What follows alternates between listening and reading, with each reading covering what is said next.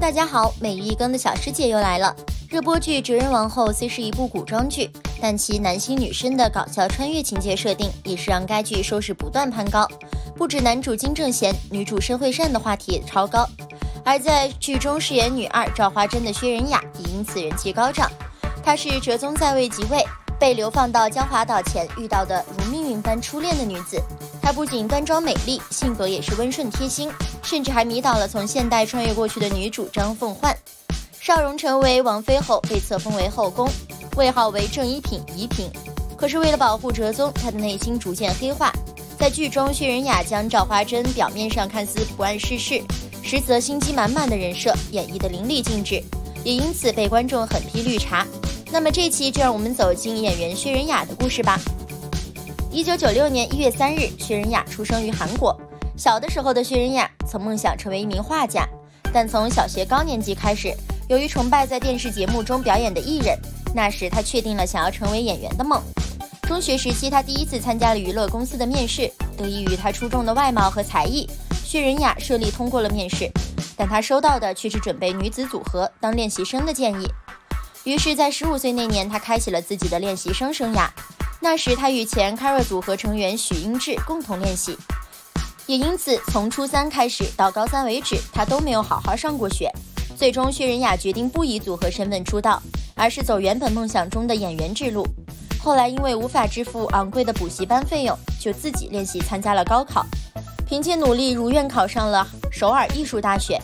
十九岁时，他通过参演 KBS 二爱情剧制作人，以演员身份正式出道，在剧中客串了出演 IU 所饰演的 Cindy 的女高中生黑粉。可惜的是，由于镜头不多，并未给观众留下很多深刻的印象。年底，他参加了综艺《回头看我》，节目中要求整蛊歌谣界的大前辈赵英男。因为在综艺中，他不光面对着前辈大呼小叫，还打了七十一岁的赵英男一巴掌。而该事件也在韩国瞬间掀起了巨大的话题。次年，薛仁雅参演了古装剧《狱中花》，她饰演了宫女时期的韩尚宫。该剧一经开播，就在收视率和口碑上获得双好评。薛仁雅也因此正式走入大众视野。爱情剧《大力女子都奉顺》中，她饰演了大提琴家曹希志。同年又与车善宇共同主演网络电影《闭上眼睛》。但薛仁雅真正让观众熟知，是因为担任 MBC 综艺节目 Section TV 演艺通信主持人，期间穿着修身礼服的她，因惹火身材迅速登上了热搜。虽然私底下多是穿着休闲个性，但是她只要一穿上礼服，就是女人味爆发。同年七月，她参演了 KBS 二青春校园剧《学校二零一七》，在剧中饰演宋大辉的女朋友洪南珠，并因剧中自然的演技，获得了二零一七 MBC 放送演艺大赏情景喜剧部门女子新人赏。后来，薛仁雅又参加了韩国王牌综艺《跑男》，节目中薛仁雅因极强的综艺感迅速引发话题，这一时期她的人气急升。大家可能不知道的是，其实薛仁雅和歌手请夏为同龄好友。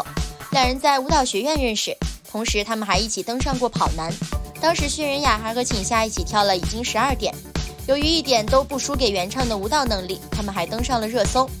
薛仁雅小时候曾经学过跆拳道，而平时喜欢运动的她还有学习巴西柔术。看似甜美的外表，其实是个隐藏的实力者。在节目中，他还表演了现场踢腿，不过拿木板的光洙可就不太好过了。只见薛仁雅有朝气地喊了一声，踢破木板。但大概是没有计算好距离，无意中踢到了李光洙的手，让光洙痛苦不已。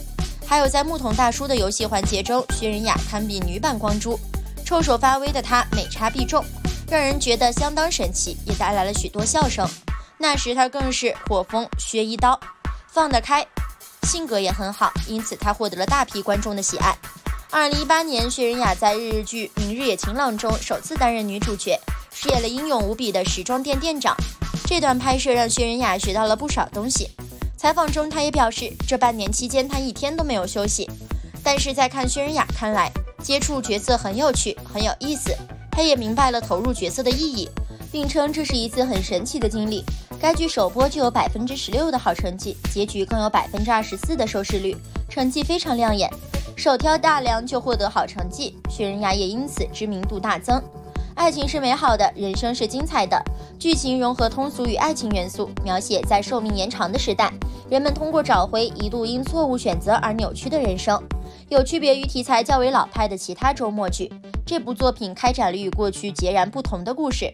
薛仁雅获邀演出的主角，镜头中薛仁雅将个性充满义气、经常为他人打抱不平的清雅演绎得淋漓尽致。凭借该剧，她收割了无数粉丝。戏中的她就连短发都散发着光彩，完美的展现了其成熟的美貌。特别是剧中其形象更加增添了清爽的魅力。第一次挑战周末剧时，薛仁雅就以稳定的演技和强有力的性格，完美消化了剧中的装扮。电视剧《青春记录》里，她的表现让不少观众再度惊艳。薛仁雅饰演了朴宝剑的前女友，因为男方家境条件而分手。不过也因角色设定，让她受到不少观众批评。出道多年，薛仁雅在多部影视剧中展现了优越的美貌和演技。从而给观众留下了深刻的印象。她拥有长相成熟的美貌、鲜明的五官和修长的脸型，御姐范十足。可在综艺中，她却展现了截然相反的一面。无论是在 Section TV、演艺通信，还是《丛林的法则》等综艺节目中，徐仁雅爽朗、真实、不做作的个性也是让观众着迷。在综艺节目中，她屡次表现出与众不同的魅力，带给了观众无数的欢乐。相信作为演员，她的路还很长。好了，今天的视频就到这里了。如果喜欢小师姐的视频，可以点击订阅关注。